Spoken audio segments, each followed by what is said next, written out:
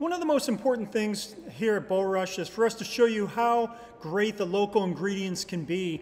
And so it's really important for us to highlight the, the stuff that we can get from our local farmers, from the local forests, uh, versus flying in caviar and foie gras and some of these things that get flown around the world. And so here on this first course, this is a true celebration of local.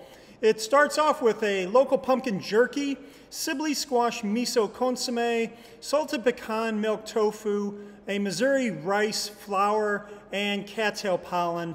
Uh, these are all things that we have gathered locally or bought from local farmers who are growing them organically and locally, uh, but trying to make something special. I, I think uh, for us, it's also trying to redefine what fine dining is. Fine dining doesn't have to be expensive ingredients from all across the globe. It can be the things we have in our own backyard, but treated extremely specially. And so I hope you really enjoy this course. Uh, if you have any questions, please do let us know.